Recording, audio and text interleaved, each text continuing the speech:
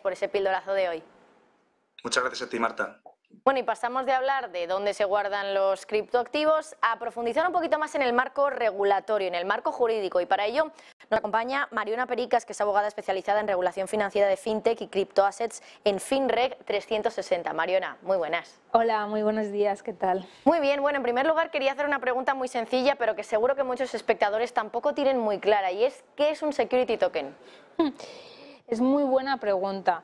A ver, en sentido estricto, ¿no? en un sentido estricto, literal, al final un security token debería ser un instrumento financiero que de alguna forma ha sido emitido o se negocia ¿no? a través o está representado, digamos, en tecnología blockchain. ¿Qué es un instrumento financiero? Bueno, pues un instrumento financiero al final son pues, las acciones, bonos, participaciones en fondos, derivados, futuros. Es un término con el que ya estamos muy acostumbrados y que ya conocemos y que está regulado en la ley del mercado de valores y toda la normativa que lo desarrolla.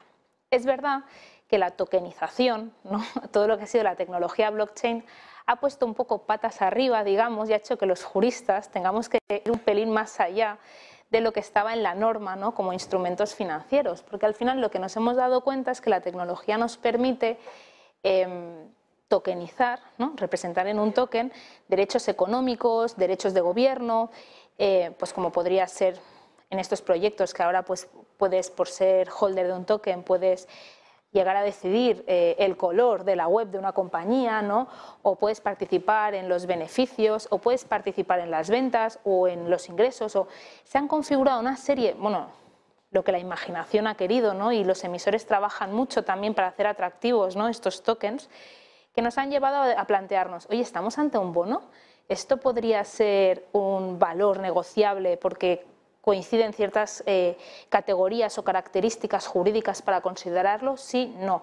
Pero es verdad que en un sentido estricto un security token tiene que ser un instrumento financiero tokenizado.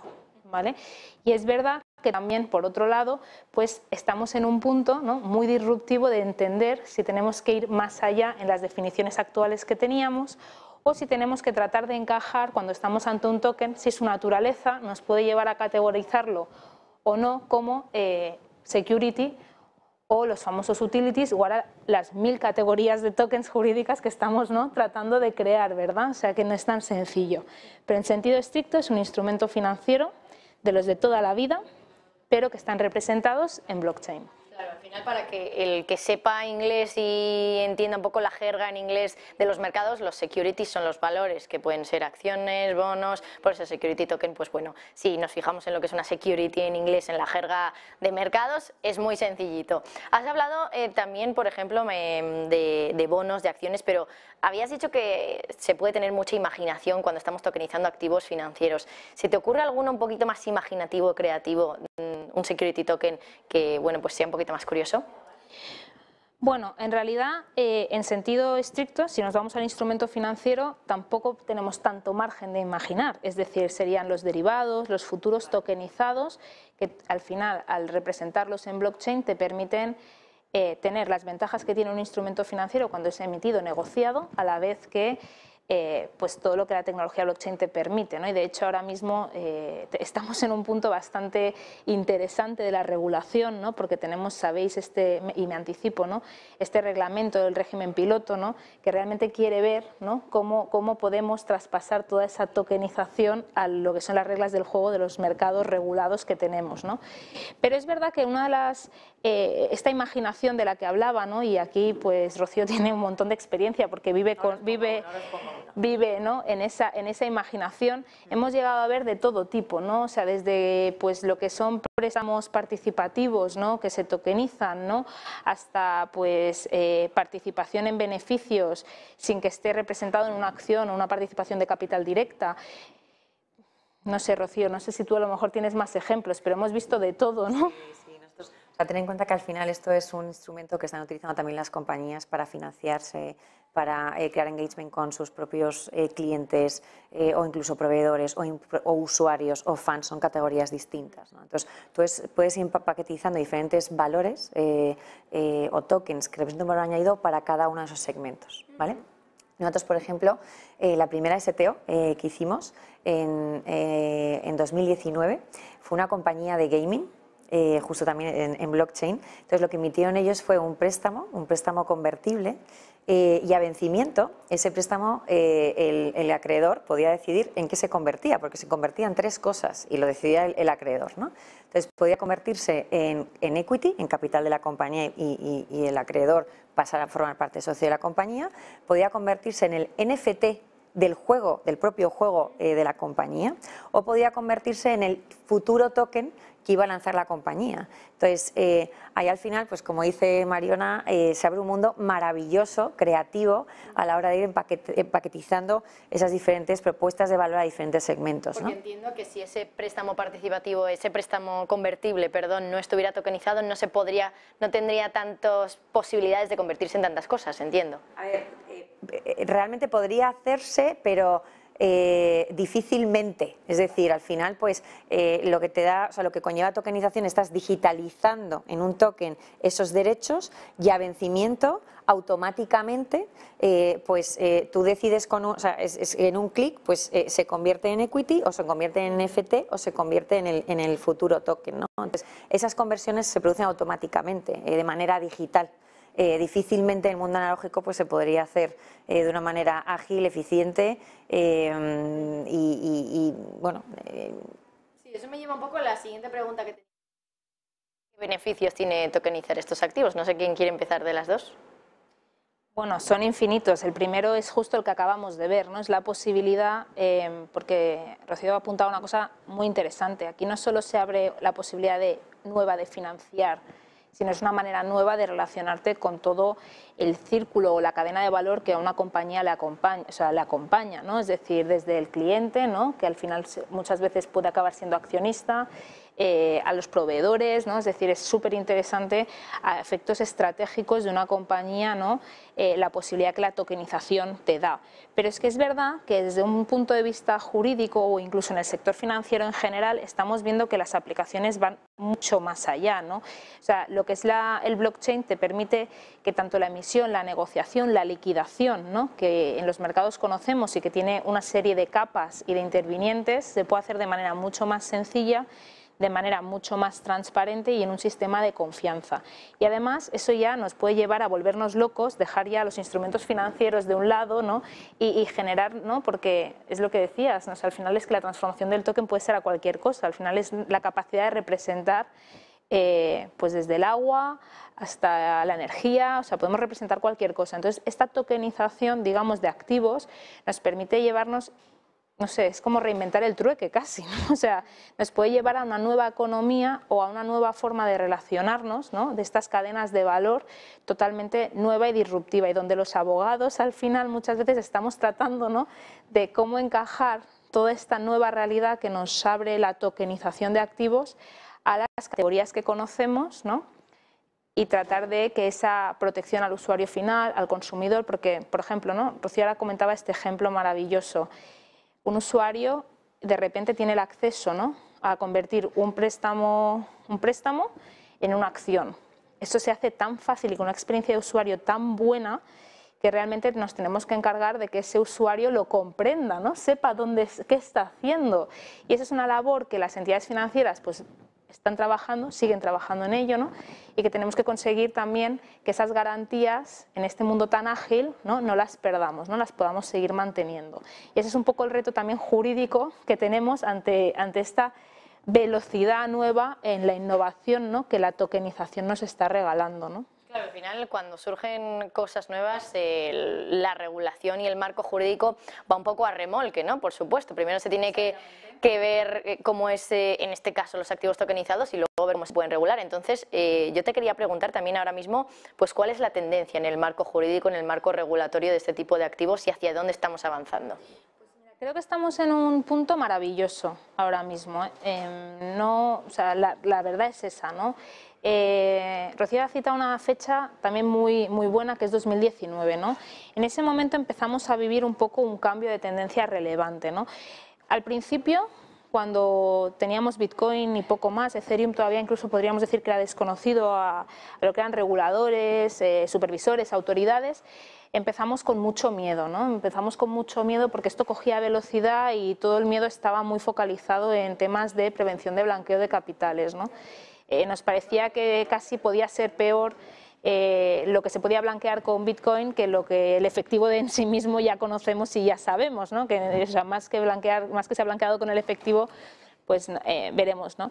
¿Qué ocurre? No? Que cuando hemos ido venciendo eso, en 2014, ¿no? y lo, lo, hemos comentado muchas veces, la Autoridad Bancaria Europea advirtió a las entidades financieras ¿no? como de que tenían que estar lejos un poco a todo este mundo disruptivo.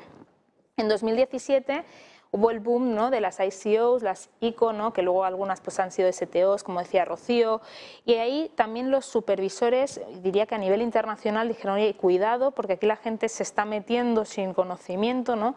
cuidado. Hemos visto como muchas de las grandes compañías ¿no? y de las compañías, digamos, nativas del mundo cripto, ¿no? pues como Token City, se han esforzado muchísimo también en dar, eh, en dar aprendizaje, ¿no? en fomentar el aprendizaje al público, ¿no? cosa que es bastante, digamos, es bastante curiosa, pero muchas de ellas se han posicionado en ese ámbito.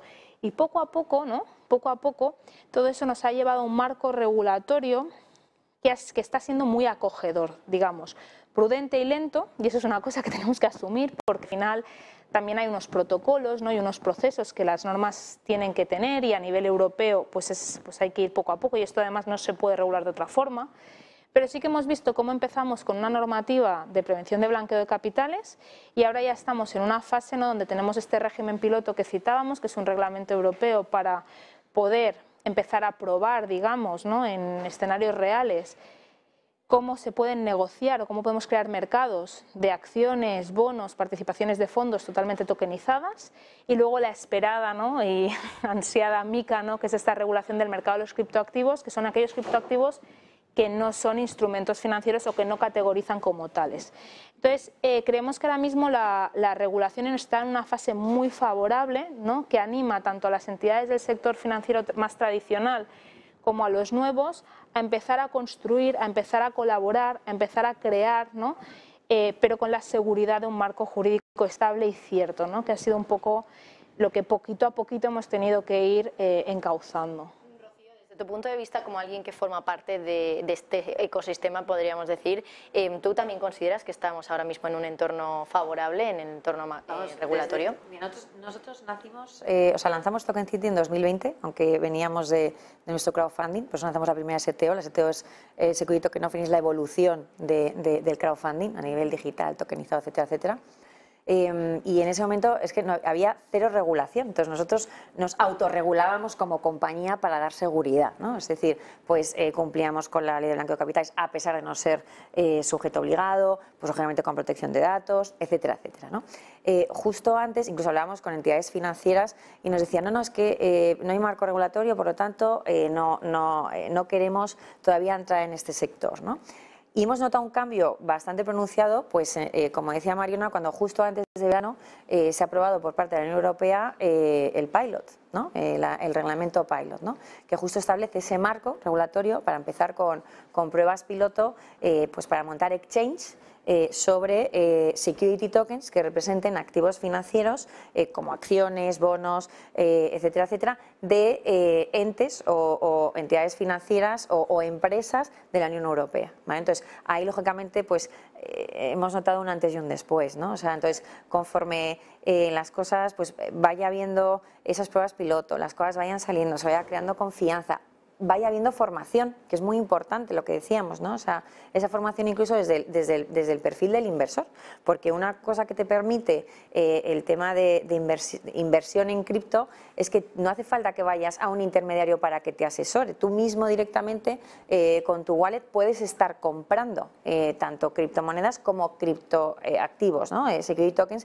que tengan detrás pues la participación en una compañía. Pues yo es lo que, es decir, es la misma, deberías hacer el mismo análisis que haces como inversor tradicional eh, a la hora de invertir en real estate o a la hora de invertir en una compañía, una startup o a la hora de invertir, por ejemplo, pues en una pyme de renovables, ese mismo análisis deberías hacerlo independientemente que inviertas eh, mediante me voy a notaría y, firmo una escritura de, de compra-venta de participaciones o acciones o a través de un security ¿vale? O sea, eso no va a cambiar. Lo que te está cambiando es la digitalización eh, de, esa manera de instrumentalizar eh, lo que es la operativa. ¿vale? Eh, pero en ese aspecto em, sí creo que hay un antes y un después y, nosotros pues lo estamos notando, ¿no? incluso a nivel de clientes, a nivel nacional e internacional, al final nosotros vendemos tecnología, ¿no? Es, es, entonces, a la hora de vender tecnología, pues es totalmente, em, es cierto que hay países pues, que nos están demandando más que otros, pues por la realidad de sus legislaciones locales. Entonces, aquí lo que hablamos con Mariona, el hecho de pues que hay países como Alemania, y Francia, que a nivel local están yendo a nivel, legislativo mucho más avanzados que la Unión Europea. Entonces, eh, yo aquí hago un llamamiento a, nuestro Congreso de los Diputados para que eh, pues, eh, se tomen conciencia de la revolución de este sector y no perder competitividad empresas españolas respecto a otro tipo de compañías. Nosotros estamos yendo, por ejemplo, a Suiza a montar un exchange en Suiza también. Entonces, ¿por qué lo estamos haciendo? Pues porque hay el marco mm, jurídico es claro, transparente y da muchísima seguridad tanto a los inversores como a las empresas e instituciones financieras. Pues sería maravilloso a nivel local, ¿no? a nivel regulación española, pues que, se tomara nota y, fueran ágiles a la hora de regularlo para no perder oportunidad de, negocio en España. Bueno, Rocío, decías que ahora hay un antes y un después respecto a la regulación, que al principio os teníais que autorregular eh, vosotros mismos porque no existía nada. Eh, y entonces yo, Mariona, te quería preguntar exactamente para que entendamos cuál es en general, en términos un poco generales, el marco regulatorio que hay ahora. Vale, os, cuento un poco. Como os decía, todo empezó con eh, la normativa de prevención de blanqueo de capitales, que justo es lo que Rocío comentaba, que es lo primero que tuvieron que autorregularse. Se dictó una, norma, una normativa europea, que es una directiva, ¿vale? una directiva que los Estados miembros de la Unión Europea tenían que acoger. Y lo que se les obligaba era crear un registro que seguro habréis leído, sabéis, que es un registro que es de Banco de España, en el que aquellos que prestarán servicios de custodia, que justo hemos estado viendo la clase, o sea que maravilloso, o de compraventa de cripto por fiat, tenían que estar inscritos en ese registro. Esto fue un gran paso porque de alguna manera ya eran actividades que podían realizarse, con lo cual ese fue el primer punto y esto ya existe a nivel español.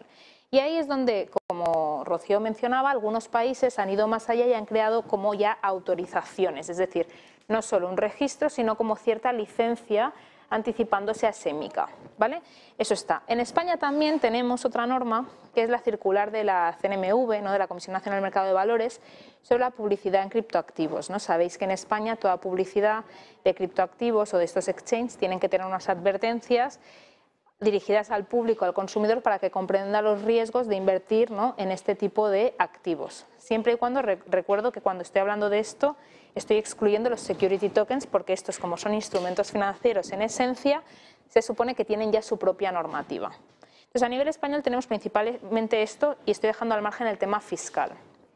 Y luego, a nivel europeo, lo que también tenemos es este marco, ¿no? que es el Pilot Regime, el reglamento del régimen piloto que ya está aprobado y que se espera que en marzo empiece a arrancar, en el que vamos a empezar a ver mercados operando, negociando eh, security tokens, insisto, acciones, bonos y participaciones de fondos, porque de momento está limitadito, está limitadito porque el regulador quiere aprender, entonces quiere aprender viendo qué pasa.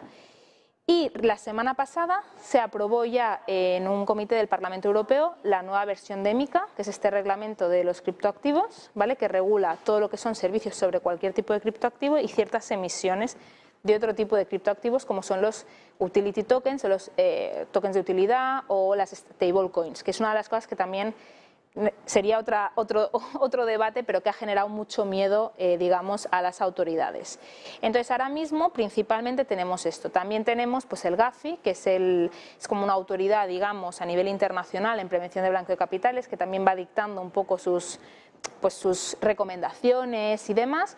Y luego hay una cosa muy importante, por lo que decía Rocío, que es para las entidades, sobre todo de crédito, que es Basilea. ¿no? Basilea es quien dicta, digamos, aquellas normas prudenciales ¿no? de solvencias que estamos a la espera de que antes de que acabe el año nos diga un poco qué tienen que hacer los bancos cuando quieren tener en sus propias carteras, sus propias posiciones en cripto o invertir en empresas relacionadas con los criptoactivos y demás. Que esta va a ser una de las cuestiones clave, yo creo, junto con MICA, para ya tener una especie de marco que nos va a permitir empezar ya a trabajar juntos. Bueno, pues desde luego muy interesante y al final la conclusión es que la regulación ahora mismo está en una fase inicial, pero que es necesaria desde luego para que se vaya desarrollando todo. Mariona Pericas, abogada especializada en regulación financiera fintech y en criptoassets en FinRec 360. Muchísimas gracias y me quedo con una frase que has dicho de que esto de los security tokens al final es una forma de reinventar un poco el trueque, ¿no? Me ha parecido muy interesante. Muchísimas gracias Mariona y también como siempre muchísimas gracias a ti Rocío por traernos pues estos conceptos que desde luego que son necesarios para la sociedad en general vaya avanzando y no nos quedemos solo en invertir en bolsa o en bonos. Al final hay muchos más activos, eh, inversiones alternativas a las que también podemos recurrir. Así que muchísimas gracias a las dos. Gracias también a ustedes por estar del otro lado de la pantalla. Volvemos la semana que viene.